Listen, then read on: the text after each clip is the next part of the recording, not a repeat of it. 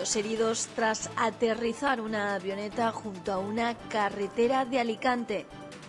Dos hombres de 55 y 63 años han resultado heridos por traumatismos cráneoencefálicos y diversas contusiones tras un intento de aterrizaje en el aeródromo de Muchamel en Alicante y que finalmente se ha producido en una zona de vegetación junto a la carretera comarcal CV 800. Los dos ocupantes que han salido del avión por su propio pie han sido asistidos por el SAMU que les ha evacuado y les ha llevado hasta el hospital de San Juan de Alicante. Hasta el lugar del suceso se han desplazado dos ambulancias y un helicóptero medicalizado.